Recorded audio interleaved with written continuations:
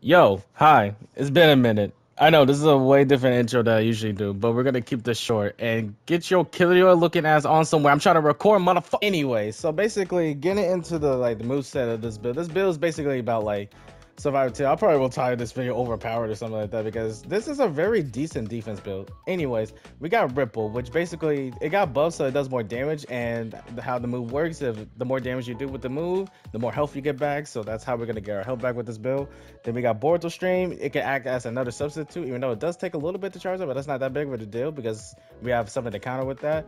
And also it does decent damage as well. Then we got Grand Sand Mausoleum, which is really good. If you if somebody dies to it, they have to sit there for 20 seconds as well. Then we got Purple Lightning, which gives us super armor. And then we also got Swirling Storm, which is the weapon you get from 1010 Shot when it's available. It is early July and it's not available to me right now. So do not ask me if how to get this or when it's coming back because I will not know. And also the stats are right here. I don't remember the stats on top of my head, but I know for sure one of them is Ninja Gear Up. And um, I think that's all I remember, but y'all see it up there. Basically, that's really about it. I'm gonna show you guys compilations, and I'll see you guys at the end of the video.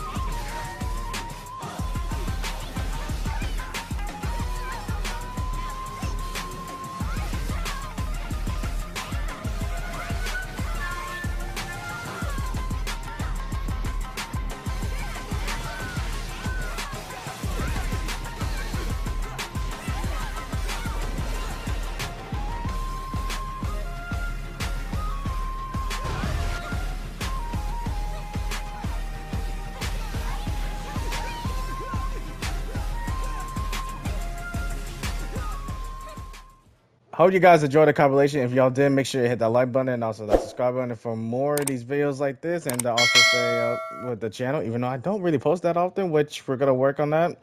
And other than that, I'll see you guys later.